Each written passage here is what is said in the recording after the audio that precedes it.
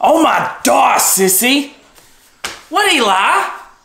What the heck are you doing up there, sissy? I mean, what does it look like I'm doing? I'm perched on the counter practicing my moves. Sissy, I'm a little confused. Your moves for what? For Halloween, you know, like trick or treating? Sissy, you don't have to practice for Halloween. All you have to say is twit or tweet.